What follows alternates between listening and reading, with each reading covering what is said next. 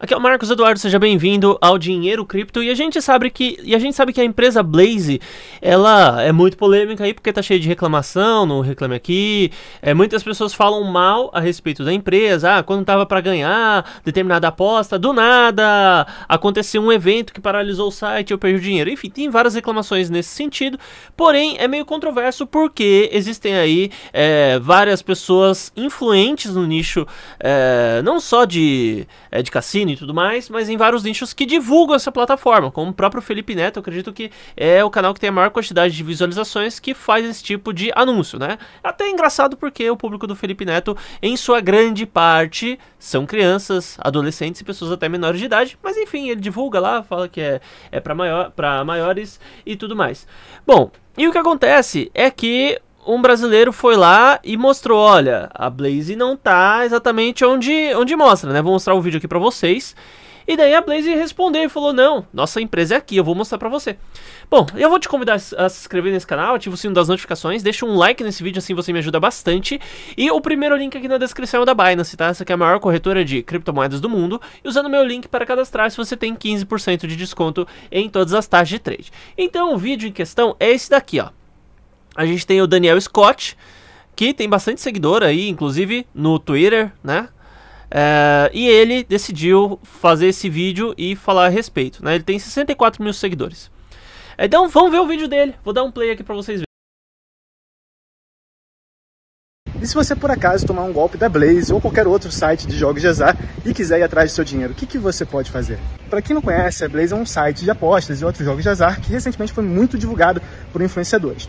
E a maioria das pessoas pensaria, se eu tomo um golpe, eu vou processar? Se você entrar no site da Blaze, na maioria dos outros sites, vocês verão que essas empresas ficam em Curaçao, que fica no Caribe, que por acaso é onde eu estou hoje. E eu vou lá no endereço da Blaze ver se realmente você consegue processar a empresa.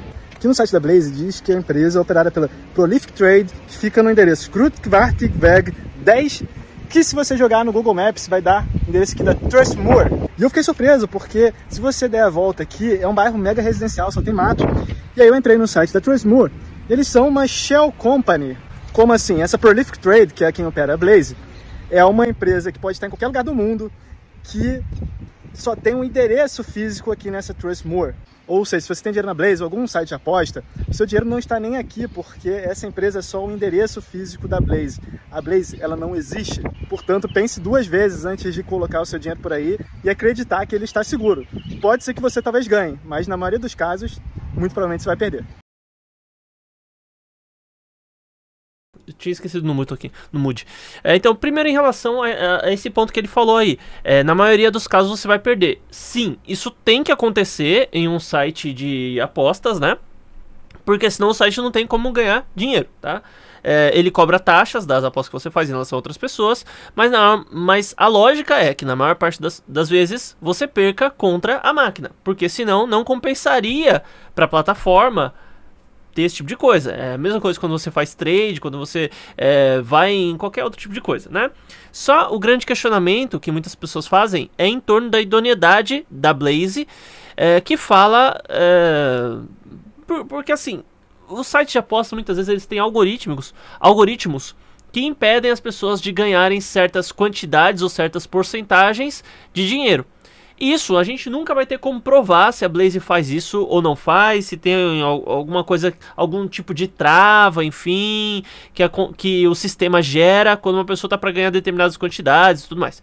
Tem muita gente que ganha muito dinheiro, eu sei que isso é verdade, enfim, e não tem como a gente provar nada, tá? Mas a questão aqui é o endereço físico. Ele foi lá e falou: Não, não tem Blaze aqui. Não tem nada de Blaze aqui nesse endereço que eles estão falando. Só que daí veio a mulher e mostrou aqui que tem sim. Olha isso, eu não vou nem pôr o áudio porque ela tá falando. Eu acredito que é inglês, enfim, mas olha só. Então a mulher chega lá, né? Resposta aí ao Daniel Scott. Então, oi Daniel. Percebemos que você quis visitar os escritórios da Blaze, mas infelizmente você foi nos visitar, você foi nos vizinhos, né? A gerência da Blaze é bem ali do outro lado. Vem comigo. Daí a moça sai andando, né? Vamos lá. Olha, você veio aqui desse lado e o negócio era do outro lado. Daí ela aperta o botãozinho, abre a porta, vai lá no, no interfone, uma recepção, até então não tem nada de Blaze aí. E depois que ela sobe o andar, ela até mostra da janela para dizer que não é um outro escritório, porque houve um corte aí no vídeo, né? E daí ela vai pro cantinho e tem uma parede escrita Blaze, tá vendo? A Blaze é aqui, gente, olha. É, só achei meio engraçado porque ah, é, é, parece que é uma sala da Blaze. assim, vamos ser bem sinceros. A impressão que eu tenho vendo isso daqui é que é só essa salinha ou no máximo essas duas salinhas aqui que é da Blaze, e não o andar todo tá? É a impressão que eu tive. Né? Daí eles correram lá, alugar, tinham esses coworks, né? Eles correram, alugaram, colocaram a plaquinha lá e gravaram o vídeo resposta. Mas até então, né? Ah, então, então da próxima vez, por favor, visite o endereço correto e ficaremos muito felizes em te receber. Uh, daí a mocinha vai lá, vamos deixar o café esperando, né? E daí tá aqui a plaquinha da Blaze. E assim, eles não mostram muita coisa não, né? Só mostra lá o cantinho e tal. É, eu, eu, achei meio, eu achei meio suspeito isso, tá? Pra ser bem sincero, eu não conheço a Blaze, nunca utilizei a plataforma, é, não tenho cadastro lá, só vi o pessoal comentando a respeito. Então é meio complicado eu falar daquilo que eu não utilizo. Mas, olhando o vídeo aí, eu, Pô, uma empresa que movimenta tanto dinheiro assim, que tem tantos clientes, tem uma grana para pagar todos esses influenciadores digitais aí. É só uma salinha ali com um computador, né? Rapaz, eu, eu não sei, eu fico desconfiado com essa, com essa parada aqui. Olha só. Pô, é, é essa salinha aqui. Eles têm quantos funcionários? Ah, os funcionários fazem tudo home office, ó. Então tem uma cadeira aqui e outra cadeira aqui. É isso, a Blaze? Ah, não, mas essa sala também é deles, tem essa e essa. Eu não sei. Mas tem muita pirâmide financeira. Não tô falando que a Blaze é pirâmide. Mas já vi empresa que é falsa mostrar muito mais funcionário. Entendeu? Uma salinha assim cheia de gente e tudo. Não sei, talvez eles poderiam argumentar, não, mas uh, faz todo mundo aqui faz home office, a gente evoluiu a tal ponto que só tem um, um escritório aqui que é só para quando a pessoa tá sem internet vir trabalhar, alguma coisa nesse sentido.